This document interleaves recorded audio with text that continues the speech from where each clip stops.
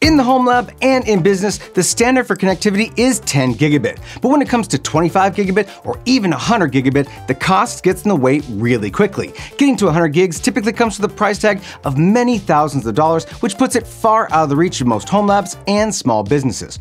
Or at least that was the case until MikroTik dropped this guy here, the CRS 510, an incredibly affordable network switch that features 8 ports of 25 gigabit and 2 ports of 100 gigabit. So in this video, we're going for gold. We're going to 100 gig, baby. Hey there, home labbers, self hosters, IT pros, and engineers.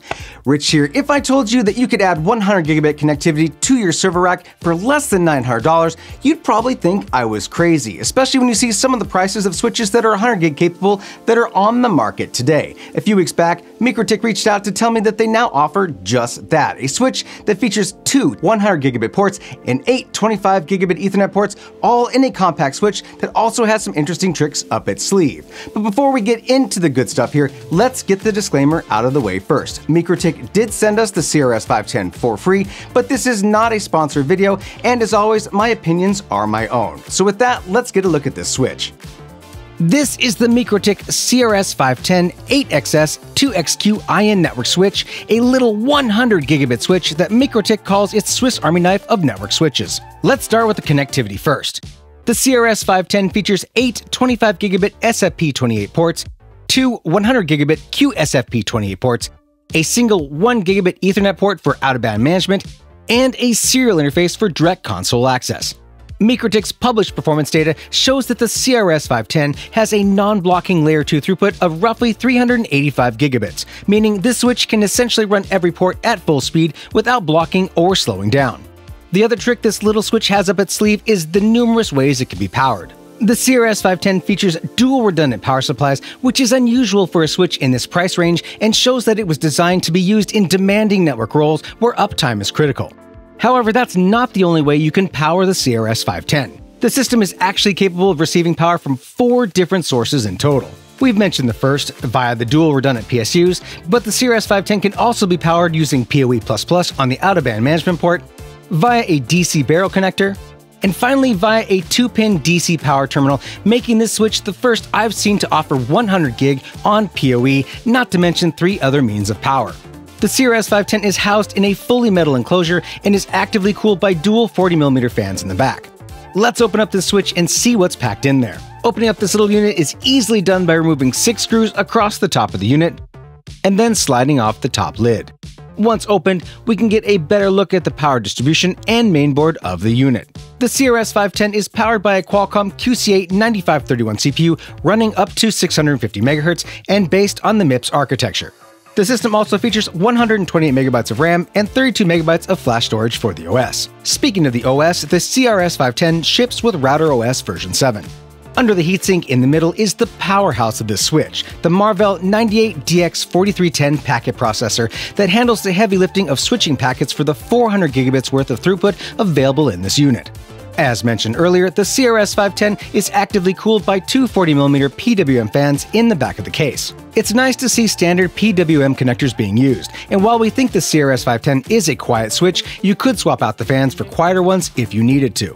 For power consumption, fully fitted with transceivers, the CRS 510 will consume a maximum of 45 watts. Finally, you can pick up the CRS 510 8XS 2QX IN on Amazon right now for around $845 US, which feels like a steal, honestly. Alright, details out of the way, let's talk about my current network infrastructure for a moment and how I plan on integrating this switch into my rack. Currently, all of my switching is UniFi, so the CRS 510 will be an outlier in terms of gear. However, I'm not really concerned about mixing network gear because that's what IEEE standards are all about. My current physical network looks like this. My core switch is a UniFi Pro aggregation switch where currently all of my 10 and 25 gig connections are made to my servers. I call this switch my core primarily because it's the fastest switch in my network and it's also the RSTP root. Downstream from the ProAg is my Tor or top of rack switch, which is a UniFi USW Enterprise 24 PoE switch that uplinks via redundant 10 gig LACP connections to the core. There are a variety of other smaller downstream UniFi switches that serve 1 gig Ethernet throughout the house and my production areas, but they're of no real importance here. With the introduction of the MikroTik CRS510, my intention is to uplink one of its 25 gig ports into my ProAg switch, set to trunk all VLANs for simplicity. In terms of configuration for my UniFi stack, that's all I'll need to do. From there, I'll move my 25 gig connected Proxinator host from the UniFi ProAg over to native 100 gig on the CRS510 and configure that port to be native VLAN 1 and trunk the rest.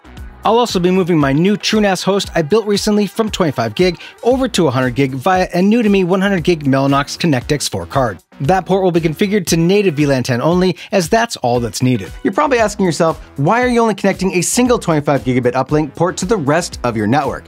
And the simple answer is, that's really more than I need. Everything downstream from the ProAg is 1 gig, with the exception of my 2 gig Ziply Ethernet connection, and there's no need for dual uplinks for redundancy because there is no redundancy between these two switches since they're both in the same rack and powered by the same UPS. The real need for 100 gig here is between my Proxmox host, which runs all my virtual machine workloads, and my primary storage, where several of those systems consume data. That's where the full benefit of the throughput will be felt. All right, let's move on to phase two. Before we rack and stack the switch, let's get it fully configured first. MikroTik offers a few different methods for configuring their gear. You can absolutely configure everything via console, a built-in web GUI, or via their full-featured management application known as Winbox. I'm going to be honest with you, I haven't spent much time working with MikroTik gear in the past, so I think I'll take a crack at configuring this unit using their full-featured Winbox software first, and we'll start that by downloading Winbox from their website. Winbox supports Windows, Mac OS, and Linux, so you've got all of your bases covered. Let's fire it up. This is the Winbox application. In the right window pane is a list of detected hardware, of which you can see my CRS510 listed at the top, showing its MAC address and current IP address on the network. Let's get logged in here and quickly run through how I've configured the CRS510 for my network. This switch is only going to be doing layer 2 functionality, so the setup is really quite simple. All I basically needed to do was enable VLAN functionality and then define my VLANs. This is all done in the bridge section, so we'll head over to bridge on the left hand side and take a look at my configuration. I have a single bridge that was created by default, and for what I need, it's perfect. But I did need to enable VLAN filtering on the bridge, and to do that, I double click on the bridge entry in the table, expand VLAN below, and clicked the VLAN filtering checkbox. Now over in the VLANs tab at the top, we can see the six total VLANs that I've defined on the switch. VLAN 10, 666, 100, 3208, and 1212 are manually created by me, with the default VLAN being added when we enabled VLAN filtering on the bridge. If we open up one of the entries, like VLAN 10, we can see how MikroTik manages tagged versus untagged VLANs. I've tagged VLAN 10 to all of the 25 gig ports and the second 100 gig port, and untagged VLAN 10 on the first 100 gig port. It's definitely a different way of displaying VLAN information compared to UniFi, but it's really not bad at all. Just a few more configs to touch on here. Under IP on the left, and Services, I disabled unnecessary services like FTP and Telnet from running on the switch. If I need to access the command line remotely, I'll use SSH because that's far more secure than Telnet or FTP. It's always smart to disable unnecessary services that you don't intend to use. The last thing I did on this unit was update the system to the most recent stable version of Router OS. That's done via the System section on the left, and then Packages. We'll check for updates again by clicking on Check for Updates on the left and we can see that the installed version and the latest version match, so we're good on updates. RouterOS has an incredible amount of functionality available in it, and as you saw, we're really only scratching the surface in terms of what it can do and what we want this switch to do. The CRS510 does have some layer 3 functionality that we could enable if we needed to, but that doesn't suit my router on a stick network that I currently have in place now, and since the switch is only going to be used primarily for its 100 gig connectivity, layer 2 is just what I need and really nothing more. All right, let's get the switch installed and cabled into my server cabinet and then get to my final thoughts. I'm going to do something different with this switch compared to the other switch gear I have in my rack. Instead of mounting the CRS510 facing out the front of the cabinet, I'm going to mount it facing out the rear. This makes more sense to me in terms of connectivity of the 100 gig connections between my storage and my Proxmox hosts, and because it's so low powered, I'm not concerned about excessive heat, though I will keep an eye on the switch temps over time just in case. The last thing to do is connect up my Proxmox host and the storage server, and we're done. Let's talk about my final thoughts here.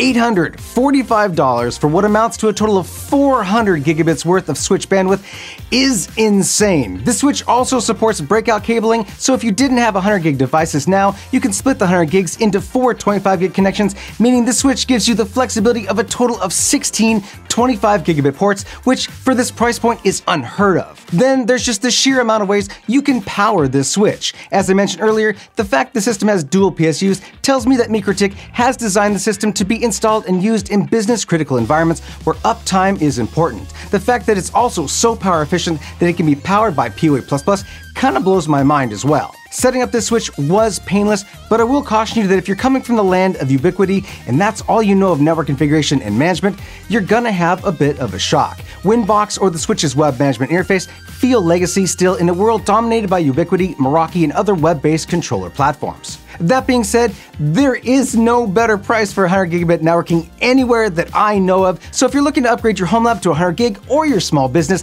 this is the switch for you. And that, friends, will do it for this video. If you liked it, throw us a sub and a like. And if you have a beef with anything I've said here, let me know in the comments below. Special thank you to our YouTube members. You guys help keep the lights on, and we thank you for it. If you'd like to help support the channel, consider becoming a member or buy some of our swag. It all helps us keep making these videos. And now that you've finished watching this video, how about checking out this place over here about the great hardware reviews we've done in the past? If you're looking for your next great piece of hardware, we can help.